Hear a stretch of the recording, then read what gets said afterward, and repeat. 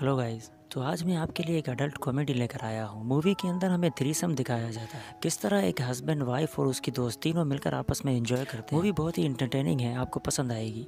आप इस मूवी को डाउनलोड कैसे कर सकते हैं, आगे चलकर बताता हूँ।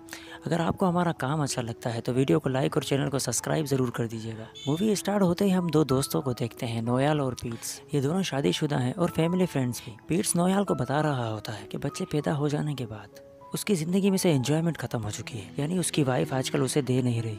मगर फिर भी हर रोज़ नंगी होकर उसके बिस्तर में आकर सो जाती है, जिससे पीट्स के जज्बात बेकाबू हो जाते हैं। इसी बेकाबू जज्बात के चलते हुए वो एक हरकत कर बैठता है, जिसके बारे में वो नोयाल को बता रहा होता है कि जब उसकी बीवी उसके बिस्तर में आकर नंगी सो जाती है तो वो खुद को कंट्रोल नहीं कर पाता। इसीलिए वो हाथ इस्तेमाल करता है। और जब वो डिस्चार्ज होने वाला होता है तो अपनी बीवी के सीने के ऊपर डिस्चार्ज हो जाता है। नोयार उसे कहता है कि यार, ये तुमने बहुत ही घटिया हरकत की है। पीट्स उसे कहता है कि इसके अलावा मेरे पास करने को और कुछ नहीं था। या तो मैं इस तरह करूँ कि अपनी बीवी को धोखा दूँ और किसी और औरत के साथ जाकर एंजॉय करूँ। ऐसा तो मैं करूँगा नहीं तो मैं यही कर सकता था। और तुम इन बातों को समझ नहीं पाओगे। जब तुम्हारे बच्चे हो जाएँगे और तुम्हारी ज़िंदगी में से एंजॉयमेंट खत्म हो जाएगी तो मैं तुमसे पूछूँगा फिर हम मूवी के नेक्स्ट सीन में आ जाते हैं, जहाँ हम देखते हैं कि अडोरा और नोयाल दोनों आपस में एंजॉय कर रहे हैं। वो एक साल से बच्चा पैदा करने की कोशिश कर रहे हैं, मगर उनका बच्चा नहीं हो रहा। तभी नोयाल को पीट्स की बातें याद आ जाती हैं। वो अडोरा से पूछता है कि बच्चा पैदा हो जाने के बाद हमारे बीच ये सब कुछ ख़त्म हो जाएगा, क्योंकि बच्चा पैदा करने के दौरान हम हर रोज़ ही ये सब कुछ कर रहे हैं। अडोरा थोड़ा सोचने के बाद उसे कहती है कि ख़त्म तो नहीं हो जाएगा, मगर हो सकता है कि कम हो जाए।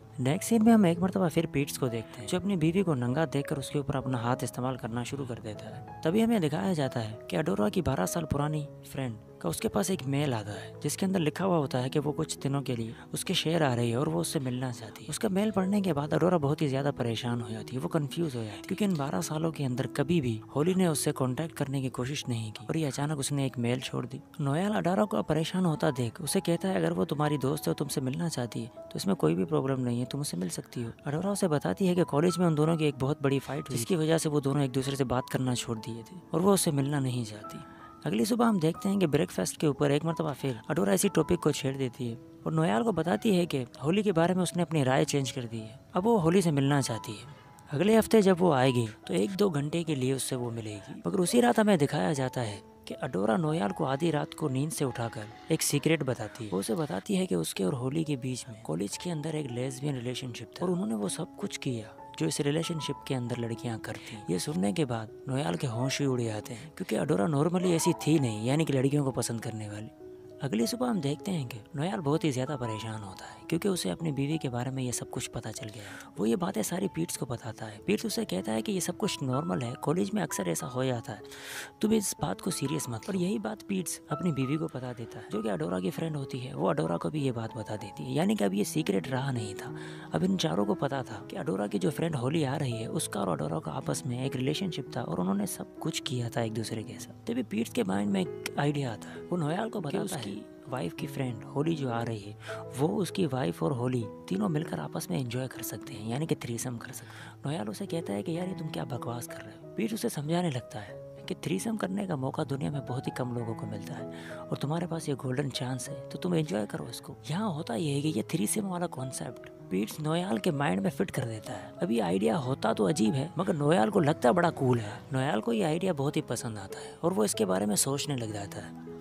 फिर हम देखते हैं कि अडोरा जो थोड़ी सी नर्वस है, होली को लेकर के, और होली के आने की तैयारियाँ कर रही होती है। होली एक दिन बाद आने वाली होती है, मगर एक दिन पहले ही आया थी नोयाल जैसे ही दरवाज़ा खोलता है तो सामने होली खड़ी होती है, जो बहुत ही ज़्यादा हॉट होती है। नोयाल उससे बहुत ही ज़्यादा अट्रैक्ट हो जाता है। ऊपर से उसने बिरा नहीं पहनी होती तो उसके अंदर का सामान नज़र आ रहा होता है। होली बहुत ही ज़्यादा फ्रेंडली होती है।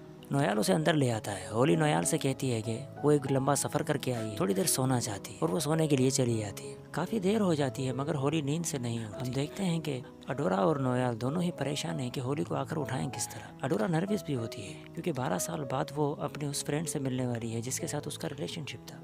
फिर हम देखते हैं कि रात हो चुकी है, मगर होली अभी तक उठी नहीं।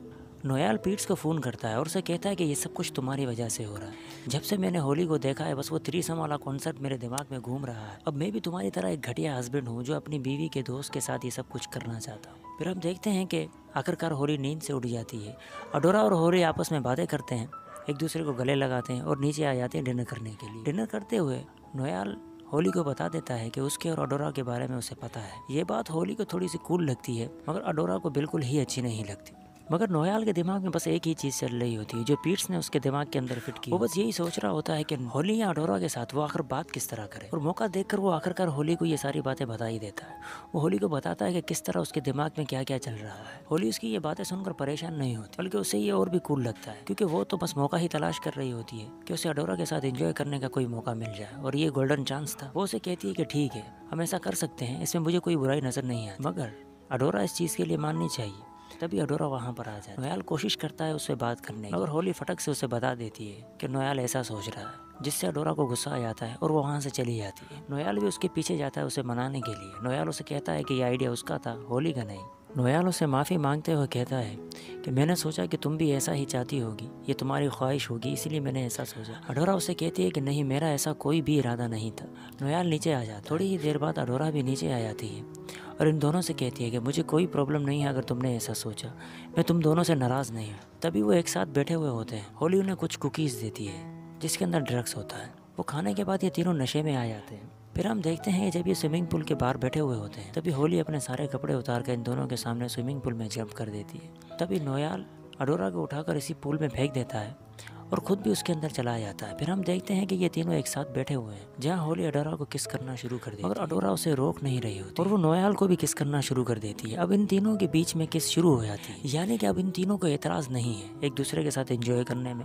और वो रूम के अंदर चले जाते हैं और आपस में बहुत ही ज़्यादा एंजॉय करते हैं। डेफिनेटली सबसे ज़्यादा मज़ा नोयाल को आता है। इन तीनों की जब एंजॉयमेंट खत्म हो जाती है तो एक और रात से पर्दा हट जाता है। अडोरा अपनी फीलिंग्स पे कंट्रोल नहीं रख पाती। और वो होली को बताना शुरू करती है कि कॉलेज के अंदर वो उससे सच में मोहब्बत करती थी। मगर उसकी जो आदतें थी, दूसरी लड़कियों के साथ एंजॉय करना और लड़कों के साथ एंजॉय करना, उनके साथ सोना इसी की वजह से उसने होली को छोड़ा था। और ये सब कुछ नोयाल सुन रहा होता और उसे इस बात की फ़िक्र हो जाती है कि अगर इन दोनों के बीच में सब कुछ सही हो गया तो क्या अडोरा उसे छोड़कर चली जाएगी? वो अडोरा से पूछता है अडोरा उसे कहती है कि नहीं, मैं तुम्हें छोड़कर कहीं भी नहीं जाऊँगी। अब जो जज्बात थे मेरे, जो मेरी फीलिंग्स थी होली के लिए, बस जो मेरे मुँह से निकल रहा है, वो मैं उसे बता रही हूँ।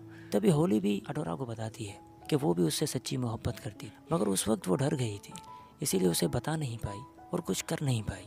अब सिचुएशन यहाँ ऐसे हो जाती है कि यहाँ सबसे ज़्यादा कंफ्यूज नोयाल हो जाता है। तभी नोयाल होली को कहता है कि जल्दी से रूम खाली करो और निकलो यहाँ से। हम जितना कर सकते थे हमने किया, अब इससे ज़्यादा हम कुछ भी नहीं कर सकते। और अगली सुबह हम देखते हैं कि बड़े ही प्यार से अपने दिल के अंदर अडोरा की मोहब्बत लिए हुए होली अडोरा और नोयाल को अलविदा कहती है और वहाँ से चली जाती।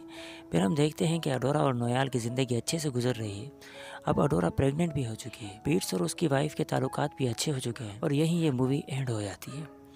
बहुत ही कमाल की फ़िल्म थी अगर आप इस मूवी को डाउनलोड करना चाहते हैं तो हमने नीचे टेलीग्राम चैनल का लिंक दिया हुआ, आप उसे ज्वाइन कर लीजिए। आपको इस मूवी का डाउनलोड लिंक मिल जाएगा। अगर हमारा काम आपको अच्छा लगा तो वीडियो को लाइक और चैनल को सब्सक्राइब ज़रूर कर दीजिएगा।